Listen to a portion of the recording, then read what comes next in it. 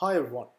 I got a lot of requests from uh, my viewers on providing a tutorial basically trying to resemble some of these websites that have a fixed sidebar when scrolling. So basically I have a page here that contains a header element, the content area, and if I scroll down you can see that I have a footer as well. But the niche part is that when you scroll down this guy over here should stay fixed. And then when you reach the end of the content area, which define define kind of using CSS, give it a min height of 650, as you can see, when it reaches the end of this, this guy over here, which is fixed, will just scroll like the rest of the element in the page. So basically, as you can see, boom. And then if you scroll down, it gets fixed again, right? Pretty neat, right? So, okay, let's see how we can create this. So I'm to just, by the way, I'm using this code editor that we've developed since uh, a couple of months ago. Uh, just go ahead and check it out. I'm gonna I'm gonna put the link to this guy in the description. But let's get started. So I'm gonna switch off the CSS and JS, maybe a little bit resizing this and show you how I made the HTML so you can see that there is a header element here, main header.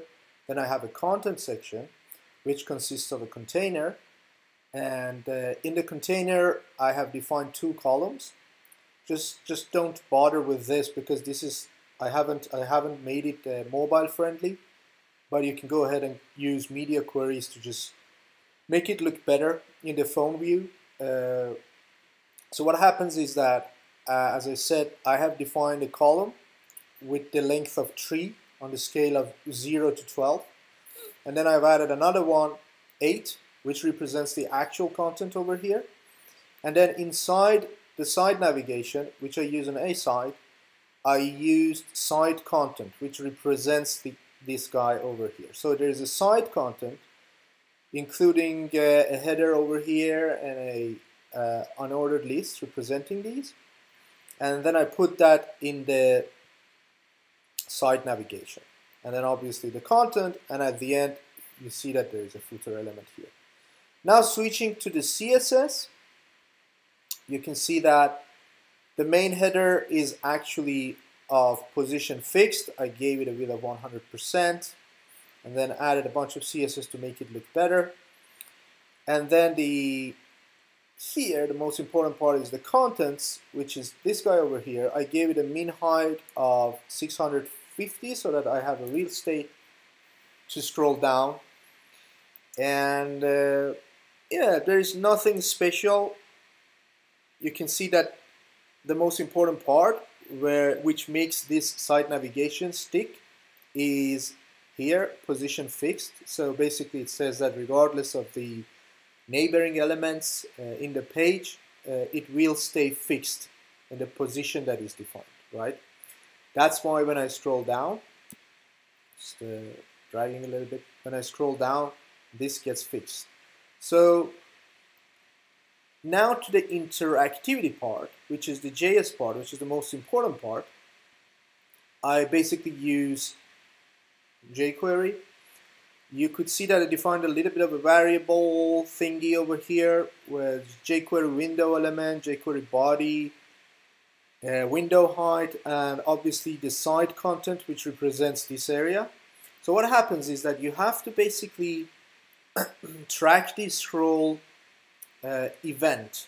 So when this happens. So what happens is that when, when the scroll happens, we pass a function to the jQuery scroll event Checking for what? Checking for where the top of the window is when we're scrolling, right? So what we want to do is that when we scroll down, when the, which this, this, this guy over here represented by side content, when the height of this plus where the window is at the time of scrolling, when it is more than the content height, this guy, up until here, but I told you that I, I have added a min height 650 to give it a little bit of a height over here.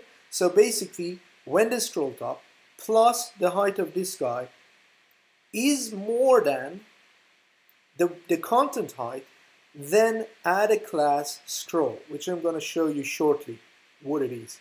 So as you can see, let me show you again. So the height of my content is up until here, and this guy is fixed, right?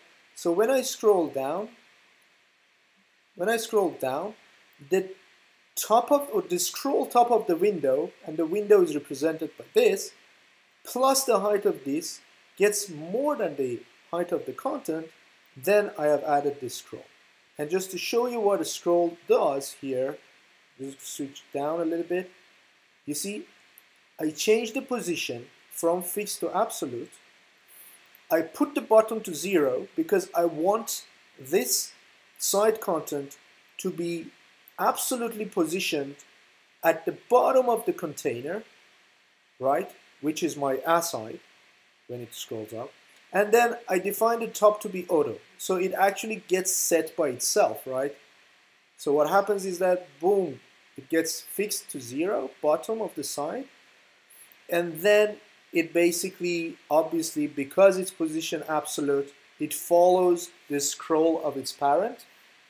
And you can see that in the JS section, else, meaning that if this is not true, I just remove the scroll.